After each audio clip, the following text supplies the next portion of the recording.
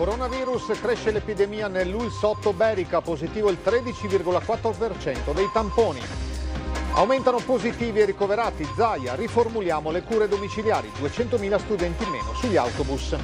DPCM contraddittorio e antieconomico, il sindaco Rucco annuncia siamo pronti a fare ricorso. San Bortolo a caccia di personale per fronteggiare l'emergenza, ha rafforzato il servizio igiene e sanità pubblica. Katia Ricciarelli a Vicenza contro i teatri chiusi, senza arte e cultura è la fine per il paese.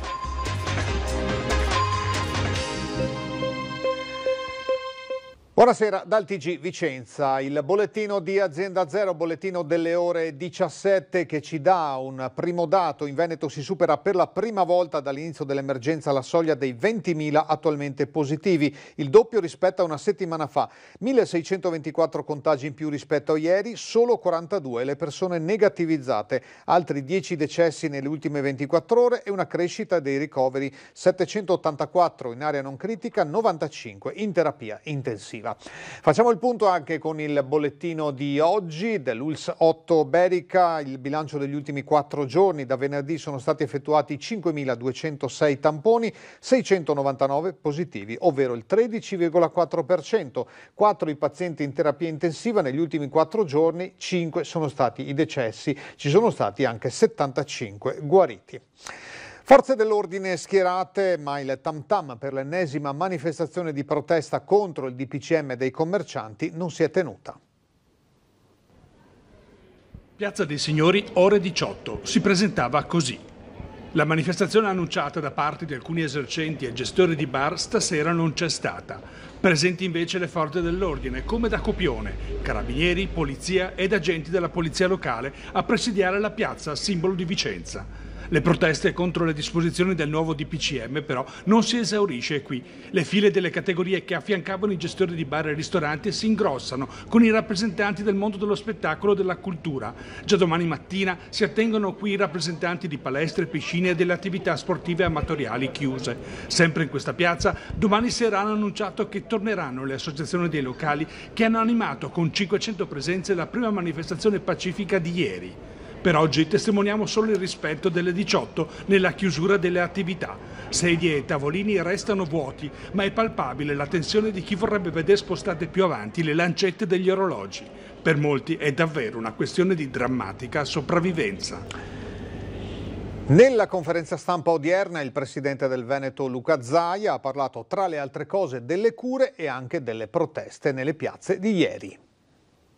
Per ogni ricoverato da Covid in terapia intensiva ce ne sono nove ricoverati in area non critica. È uno dei dati illustrati oggi dal Presidente del Veneto, preoccupato della crescita delle ospedalizzazioni e quindi con una proposta già sul tavolo. Abbiamo messo in piedi un gruppo di lavoro per riformulare i protocolli di cura domiciliare affinché il paziente si senta sereno tranquillo e sia seguito. Anche sulle proteste di piazza da parte degli esercenti, Zaia ha le idee chiare. Ho visto una protesta che è fatta di gente che non chiede sussidi ma chiede di poter lavorare.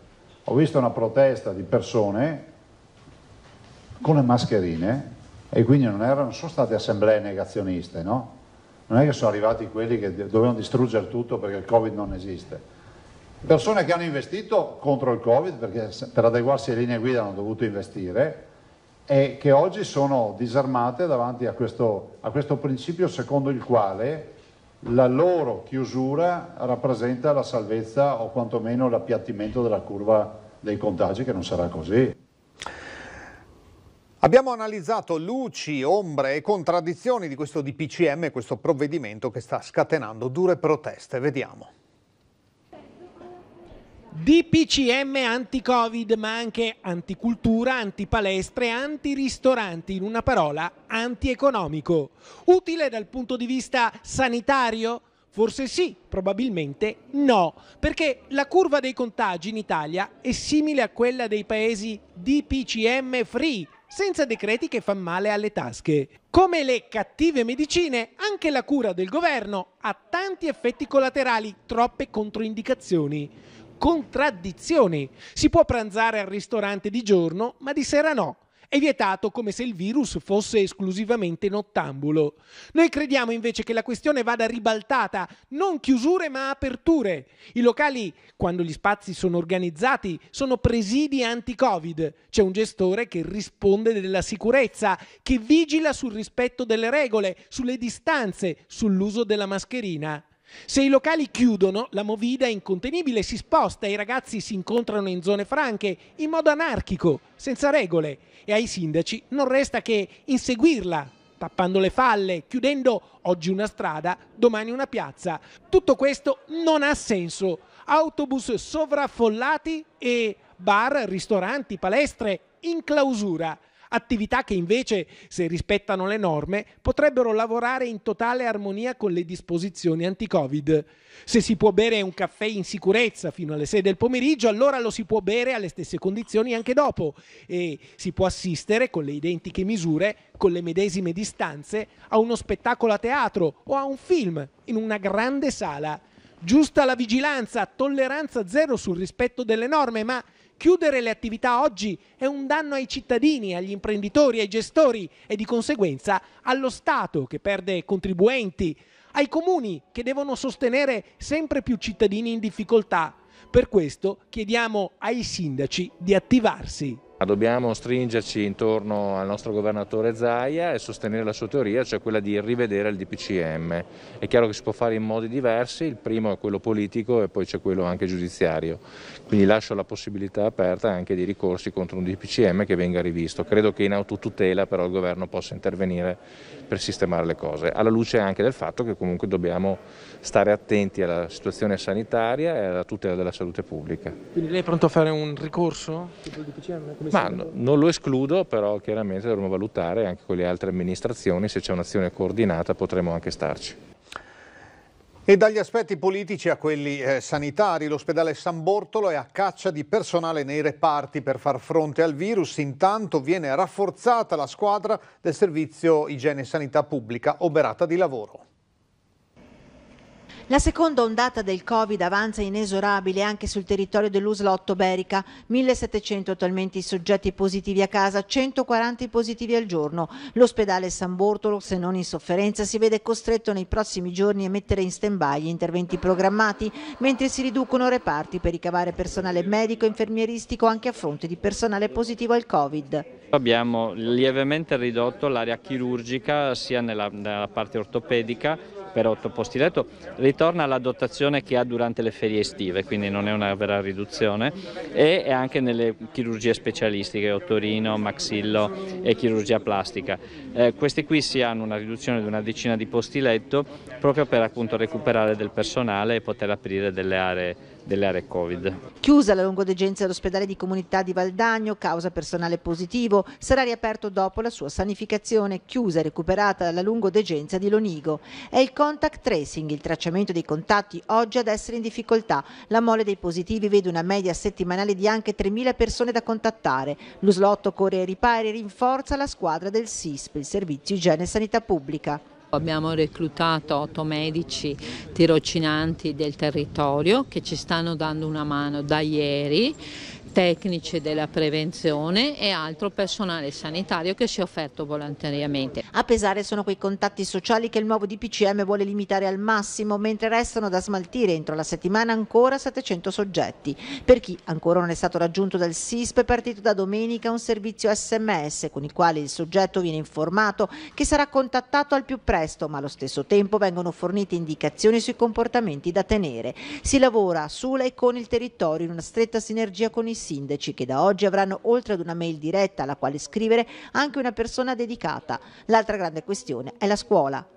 Abbiamo 130 classi in questo momento dall'inizio della scuola con almeno un positivo, più o meno un 30-40 nate eh, perché abbiamo trovato un ulteriore positivo e una media di eh, 15 classi tamponate ogni giorno. Sotto controllo le case di riposo e i loro 3.800 ospiti, rafforzata la presenza sanitaria con un medico in servizio. In vista della festività di tutti i santi e della commemorazione dei defunti, il virus limita le celebrazioni in cimitero ma non le cancella. C'è l'invito del Vescovo di Vicenza a dilazionare le visite ai cari defunti in tutto il mese di novembre. Festività di ogni santi e dei defunti, il Covid e le misure di contenimento del virus vanno ad incidere, ma non fermano del tutto quelli che sono due tra gli appuntamenti più sentiti della nostra religione.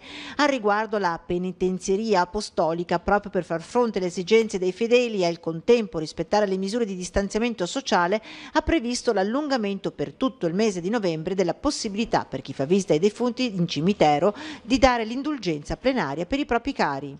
Il Vescovo di Vicenza ha invitato i singoli parroci a contattare i sindaci dei loro comuni, che sono responsabili delle aree cimiteriali, per valutare insieme se queste celebrazioni sono fattibili nel rispetto della... Sul fronte delle celebrazioni religiose all'interno dei cimiteri, il Vescovo di Vicenza ha invitato i parroci ad accordarsi con i sindaci responsabili delle aree cimiteriali. Nel caso si tenessero, le indicazioni sono chiare. La diocesi invita comunque a tenere celebrazioni brevi e che garantiscano tutte le misure eh, predisposte anche per le celebrazioni che normalmente si svolgono nelle chiese. Il vescovo Monsignor Beniamino Pizzioli il primo novembre alle 15.30 terrà al cimitero monumentale una breve cerimonia con benedizione delle tombe, mentre il 2 novembre sarà in cattedrale dove celebrerà due sante messe in suffragio dei fedeli defunti e per le vittime del Covid. Anche la cultura in crisi di conseguenza, il Teatro Comunale di Vicenza chiuderà in deficit, ma secondo il segretario generale il primo socio è il pubblico. Questo DPCM ha tagliato le gambe a questa ripartenza del teatro, perché era comunque una ripartenza. Sì, era una difficile ripartenza e che era, era un'anteprima della vera stagione che sarebbe partita a gennaio. A pagare con il mondo della ristorazione delle palestre il costo più elevato di questo nuovo DPCM è ancora una volta la cultura, nemmeno il tempo di ripartire che il Teatro Comunale di Vicenza è di nuovo chiuso. Unica soddisfazione la stagione dei classici dell'Olimpico terminata sul filo del rasoio dell'entrata in vigore del nuovo decreto. Quella di quest'anno è stata la, la diciamo, l'edizione del tutto è possibile, nel senso che realmente abbiamo avuto per le 19 repliche di spettacolo, abbiamo avuto tutti sold out, abbiamo avuto tutti gli incontri strapieni di gente con liste di attesa un successo da 45.000 euro di incassi che scalda il cuore raggelato dalle nuove misure che inevitabilmente incidono sul bilancio 2020 già previsto in deficit, come anche quello del 2021. In questi mesi sono venute meno moltissime entrate, dai biglietti agli abbonamenti, dalle sponsorizzazioni alle prevendite al noleggio delle sale. Il rischio nel 2022 è la chiusura. Il nostro pubblico ce l'ha già dato una mano, ci ha lasciato ben 120.000 euro, che è come una quota associativa, il che vuol dire che uno dei soci fondamentali del teatro è proprio, è proprio il, il suo pubblico. E sempre a proposito di cultura, oggi a Vicenza abbiamo incontrato il soprano Katia Ricciarelli che vuole dire la sua a proposito del DPCM. Le ricadute sullo spettacolo di questo DPCM? Ah, lascia perdere, guarda, perché se dovessi parlare dopo dicono ma lei perché parla? Primo non è vero che, la, che, che il teatro è superfluo, specialmente l'opera lirica, il melodramma, che è considerato una cosa che solo diverte, no? Noi non, non, divertiamo così perché siamo giullari, lavoriamo perché ci piace ed è un lavoro il nostro, una professione e c'è tanta gente a spasso per questo, tanta gente. Lascia perdere i, i, i cantanti o gli artisti eh, primari, diciamo, ma alle spalle c'è un mondo, orchestra, coro, eh, macchinisti, sarte, di tutto, elettricisti, quindi è una cosa immensa quello che c'è dietro, è un mondo. Quindi, può sostenere? Ma sostiene, ma sicuramente la sostiene, perché guardi, ho fatto tre mesi di pandemia in casa e se non avessi avuto il canto e la musica da ascoltare, qualsiasi tipo di musica, mi sono veramente rilassata e ho capito quanto sia importante, insomma, la cultura è importantissima. Un paese come il nostro, che ha tante belle cose insomma, da, da, da far vedere, bisogna fa, fare anche sentire, perché noi siamo veramente il paese del melodramma, che è un patrimonio eh, strettamente proprio e totalmente Made in Italy. L'abbiamo inventato noi nel 600. In Italia c'è il Teatro Olimpico, che è il primo teatro coperto ah, del mondo, so. insomma, ehm, vederlo chiuso... No, è un pianto. Potrebbero organizzarsi e fare delle cose, far fare le cose a chi le sa fare bene. Quindi distanziare il tutto, pochi artisti sul palcoscenico, pochi strumentisti e magari si danno il cambio e fanno dei turni, ma però tutti devono lavorare con grande coscienza. Purtroppo tutti parlano perché hanno la bocca. Un messaggio a Conte?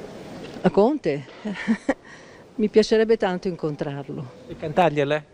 No, cantargliele in maniera, in maniera giusta, insomma, no, non cantargliele, ma spiegare che cosa significa e che cosa si potrebbe fare senza andare contro a tutte queste regole. Non toglieteci però l'arte perché sennò siamo rovinati, il paese è rovinato. A Sport in Casa Alex Giuliano questa sera ospiterà Federico Formisano di Calcio Vicentino per fare il punto sui risvolti dello stop al calcio dilettanti. La serata di Rete Veneta con Focus alle 21.15, ospiti Luigi Cassan, Maurizio Conte, Roberto Marcato, Leonardo Padrin, Silvano Piazza, Simone Scarabel e Giorgio Vigni. È tutto per questa edizione di TG Vicenza, grazie per l'attenzione e buon proseguimento.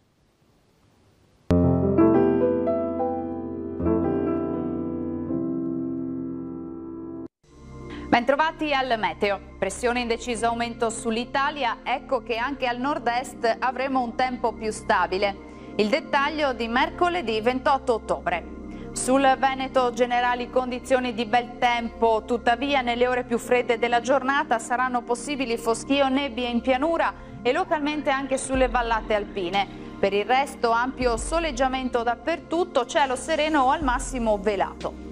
Vediamo anche le temperature minime tra i 5 e i 9 gradi, massime invece tra i 14 e i 17 gradi all'incirca. Vediamo ora come sarà la previsione per Vicenza in città ma anche in provincia. Al mattino avremo locali riduzioni della visibilità, dal pomeriggio invece sarà decisamente più soleggiato con cielo al massimo poco nuvoloso. Non sono attese precipitazioni particolarmente degne di nota. Dal meteo per ora è tutto, buon proseguimento con Rete Veneta.